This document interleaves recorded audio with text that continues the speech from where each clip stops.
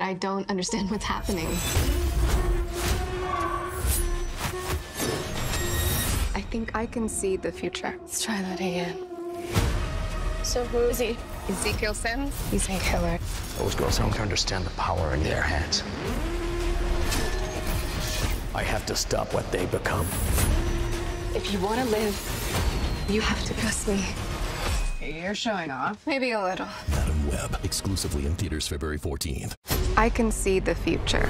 Ezekiel Sims. He's got these crazy powers. I'm more interested in why he's trying to kill us.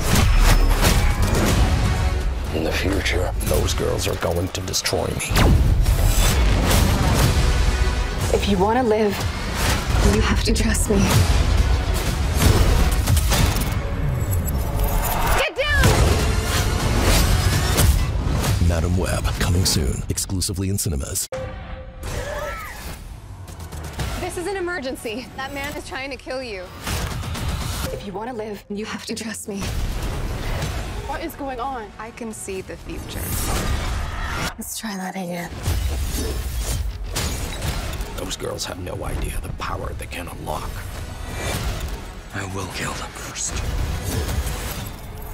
Get down!